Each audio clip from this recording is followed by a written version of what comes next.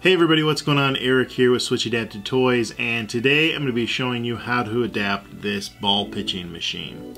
Now this machine is from iPlay, iLearn. Uh, I'll link to this toy, uh, an Amazon link in the description if you want to pick up this specific one. Uh, what's kind of cool about this one is that there is a uh, remote control in the bat. So how this toy works is that you flip a switch to turn the motors on, but then every time you press this button, it'll feed another ball and shoot it out. Um, so some things to consider before we adapt this is once we adapt it, like this bat isn't really going to be used probably for hitting the ball any longer. You know, we're going to have a, a, cord coming out of it and you'll have your button attached. So my guess is that um, it's going to be more used for like playing catch with a friend or a sibling or something like that than it is like uh, hitting the ball with the bat. But as long as you're right with that, um, everything that we need to adapt is in this bat, so we can just go ahead and set this whole thing aside. If you like this video or if you found it helpful, hit the like button and uh, hit subscribe because we're posting new videos all the time and it really does help us out in a huge way so thank you in advance for that. Uh, but without further ado, let's go ahead and get into it. Uh, what we want to do first is just remove all the screws on the back side of this bat.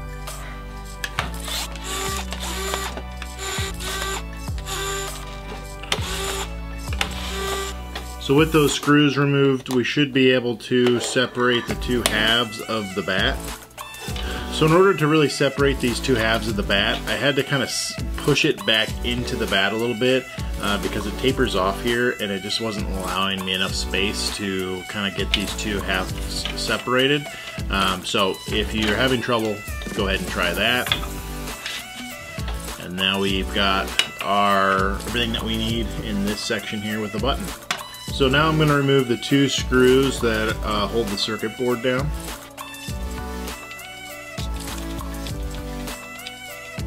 So here's where the button presses on the circuit board. I'm just going to remove this kind of rubber uh, button, for lack of a better word. Uh, it just pulls right out. So on the circuit board, we're going to solder one of our headphone jack wires to this point right here on the circuit board and the other wire to this square right there on the circuit board. But before we do that, we need to drill a hole through the toy so that we can get our headphone jack wire in there. So I'm actually going to drill my hole through the other uh, half of the toy and I'm just going to make sure I line up so that I'm going to be drilling essentially right over where that red button is. Uh, you can either use a Sharpie or just kind of eyeball it to kind of mark where that spot is. We just want to be close enough to that circuit board that our cord will reach.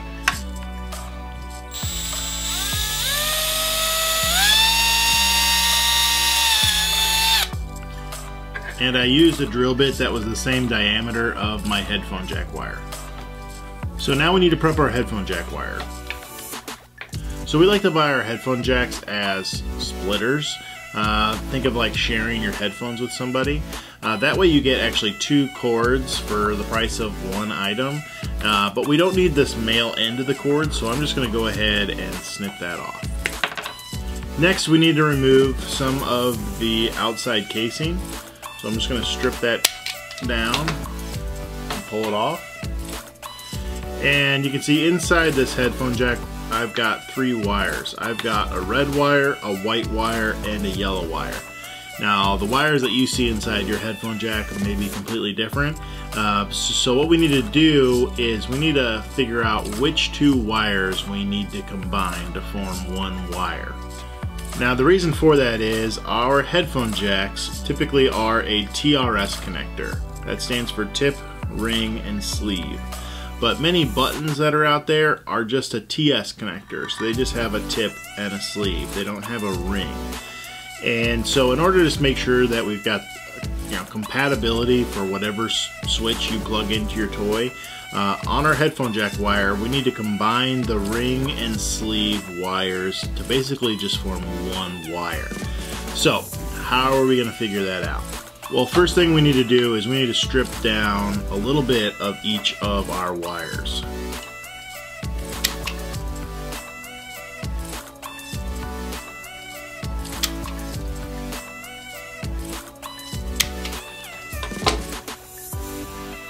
Alright, so next we're going to need a couple tools. We're going to need a multimeter and we're going to need a switch button. Now I've got my multimeter set to ohms and now you can see whenever I basically complete the circuit by bringing my two prongs together, I get a reading on the multimeter. Uh, but anytime I separate them, it goes back and it shows OL. Um, that's basically telling me I've got a closed circuit and an open circuit, okay?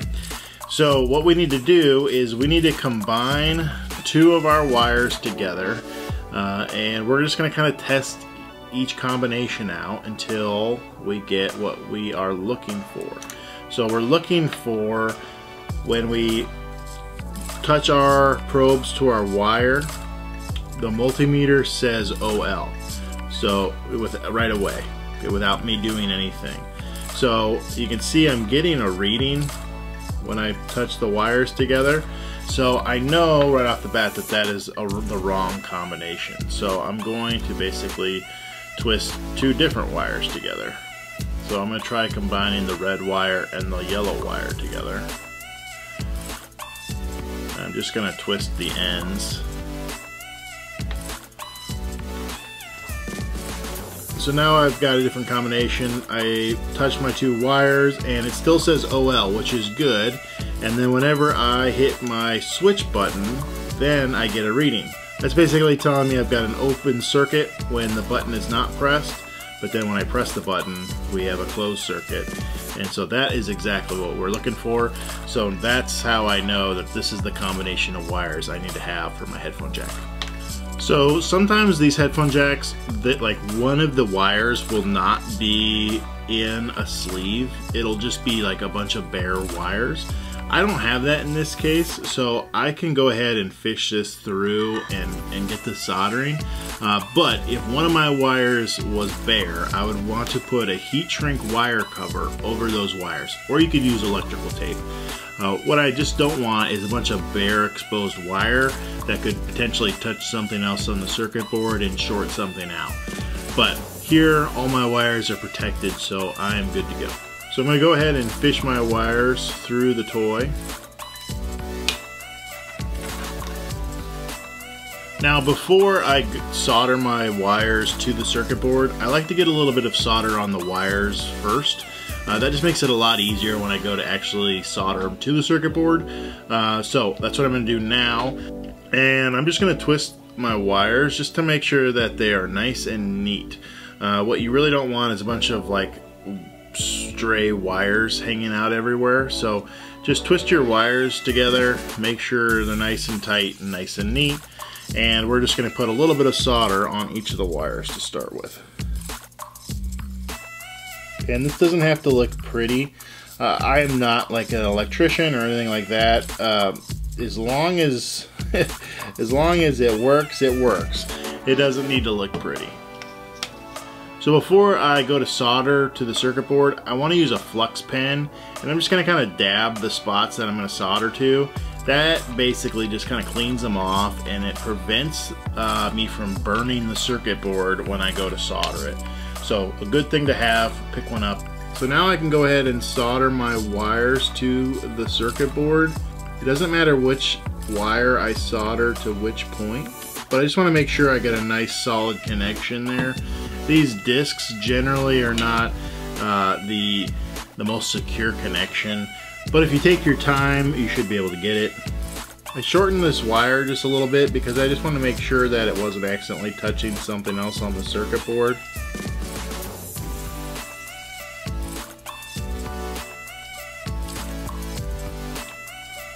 Alright, you can give it a little bit of a tug just to make sure it's not going to go anywhere. So before we go ahead and put everything back together, it's a good idea to test it just to make sure that everything works. So I've got a button plugged in, I've got my toy turned on, and let's see. There we go. So now we can go ahead and put things back together. So I'm going to pull out some of the slack that I've got inside the toy. Uh, there's just not a ton of room in there, so I don't want a bunch of wire kind of bunched up in there. And I'm going to use a zip tie to kind of secure that wire and prevent somebody from accidentally pulling it out of the toy. So I'm just going to wrap this zip tie around the wire on the inside of the toy. And then I'm going to go ahead and snip off the extra zip tie. For a little bit of extra security, uh, I like to put a little bit of CA glue around that zip tie. Uh, that basically just locks it all in place. And I just use a little bit of activator and that instantly dries that CA glue. So now I can go ahead and replace the little rubber button back onto the circuit board. The little pegs on the button fit into the holes that go through the circuit board and you just kind of pull them through the back side to snug it in tight. Next we can go ahead and re-secure the circuit board and screw in the two screws that hold it down. You want to make sure you don't over tighten these because you could crack the circuit board. So now we can go ahead and put the two halves back together. So in order to get this red portion back on, uh, I can't just put the two halves together and shove it in there because it just won't fit. So I'm going to add a little bit of slack back in uh, the toy here. So I just kind of pulled the, the cord through.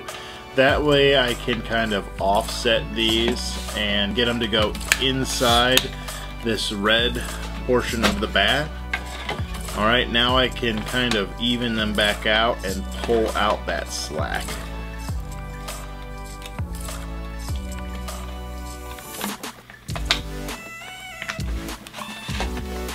Alright, and just make sure you're not pinching any wires before you go ahead and reinsert all those screws.